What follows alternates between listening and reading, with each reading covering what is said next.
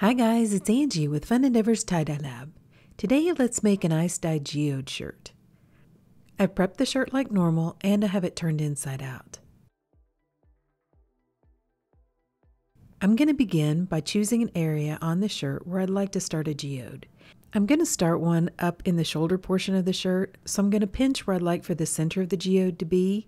Then I'm going to lift the shirt up off the table, kind of give it a little bit of a shake, let it fall naturally. And then I'm going to start tying the geode rings from the bottom of the geode or the outer rings of the geode.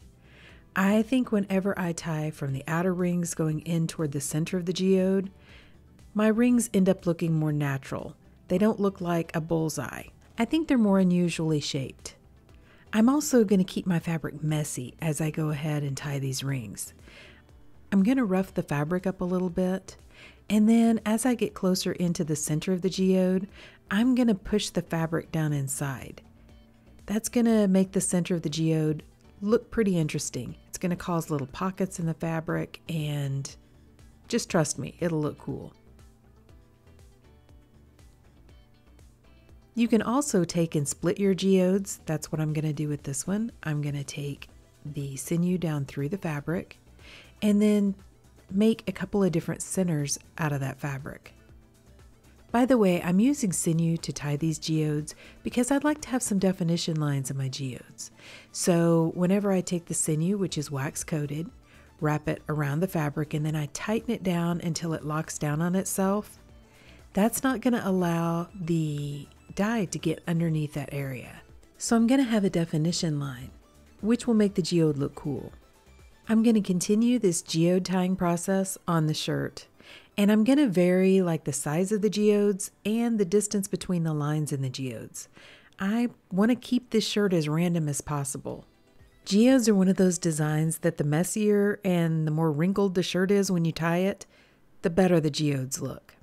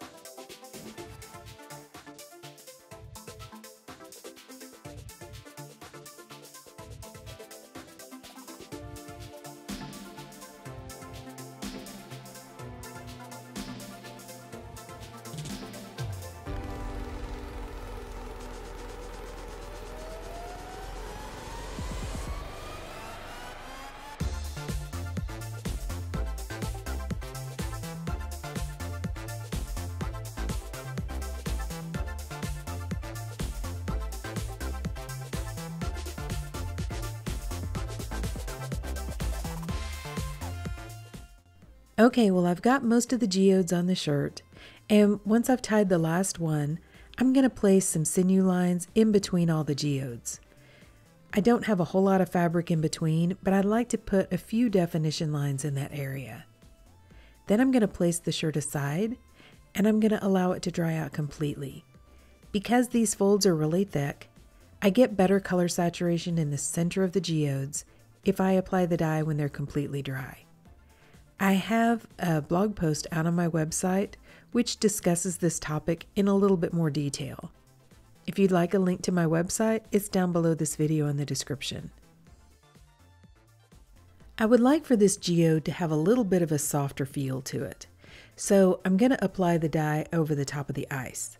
So to do that, I've taken a plastic tub or tote and I'm using a metal colander. I'm going to place that over the tote and then place the shirt down inside. The metal colander is up off of the bottom of the plastic tub or tote, so it is not going to sit down inside of the muck while the shirt is processing. By the way, all muck is, is the runoff from the melting ice that's mixed with the dye. Because I want this shirt to have kind of a lighter and softer feel, I'm not going to allow the shirt to process down in the muck. I started by adding some ice over the top of the shirt. Then I'm going to apply the dye in stripes over the top of the ice. And I know I've chosen a lot of colors, but I found this really cool stone that was out on Pinterest. I never could find the name of the stone, but I did find one that was similar, and it's called a Mexican fire agate.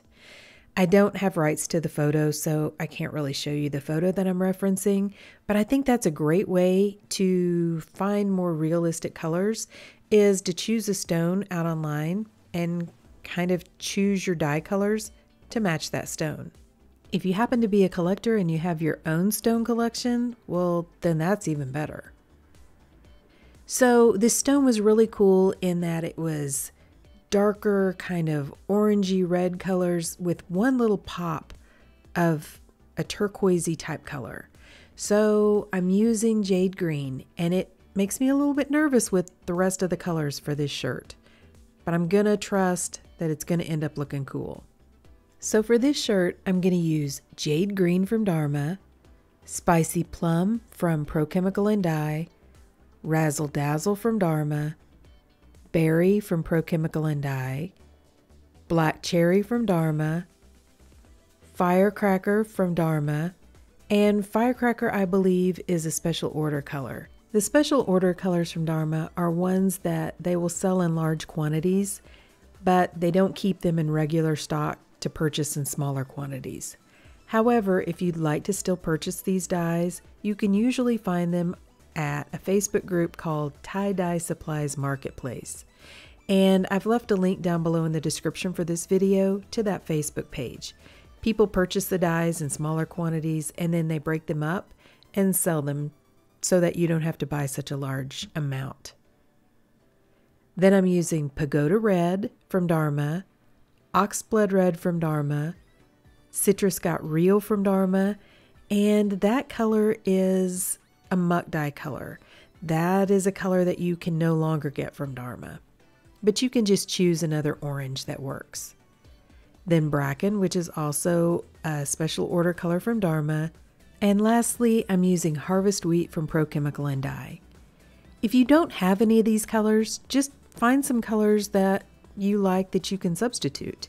They don't have to be exact. That's kind of the fun thing about tie-dyeing is you can make it your own.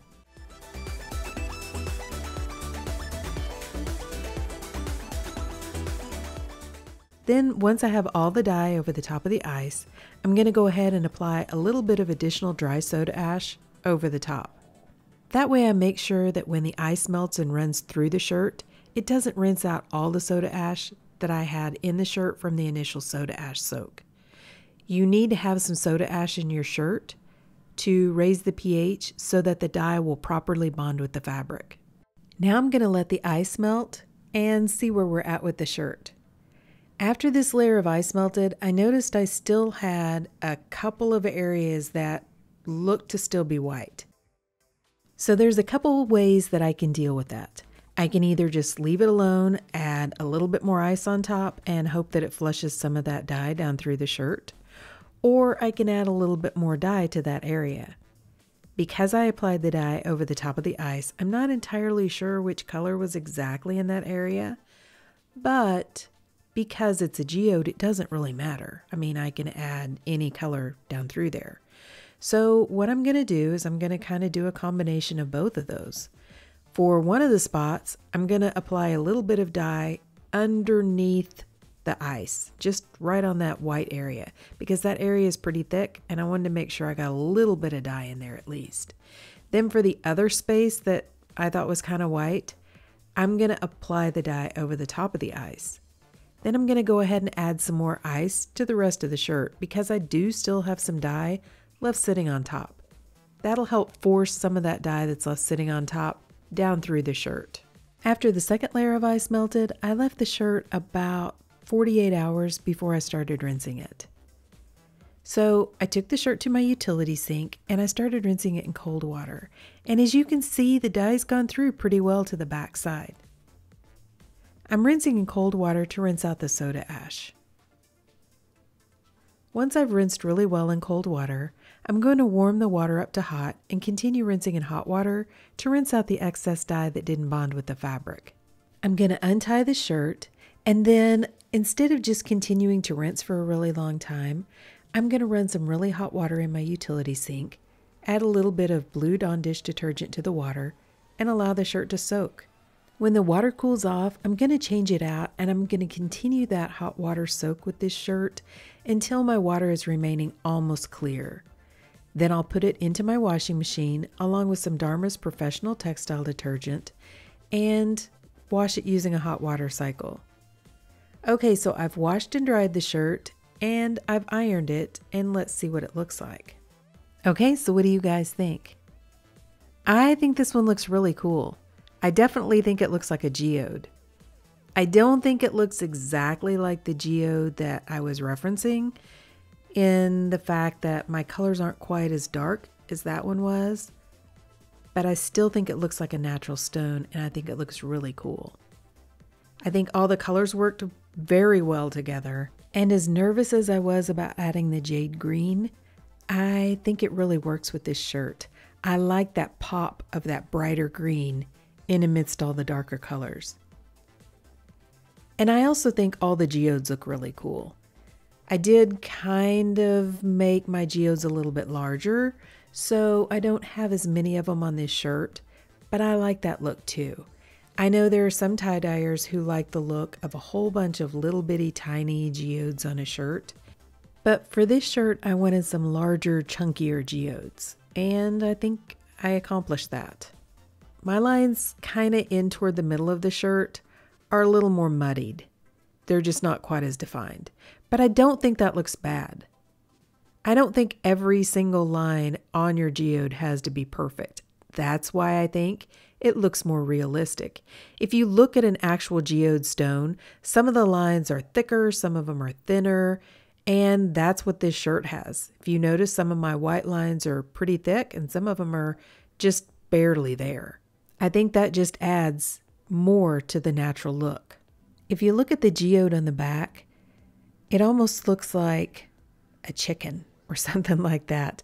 I've zoomed in so that you can see it. It's got like a pop of a bright yellow color, which I found kind of interesting, but the shape of it, it looks like an eye with one of the holes that were formed in the geode. I just think it looks really cool. I thought that was something funny that showed up in that geode.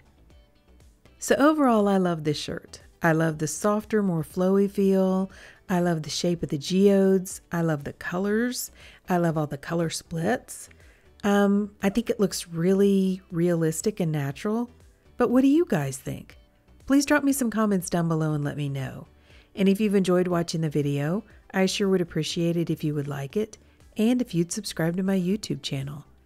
If you'll hit the bell, you'll receive a notification whenever I upload a new video. Thank you all for watching, and I hope you have a great day.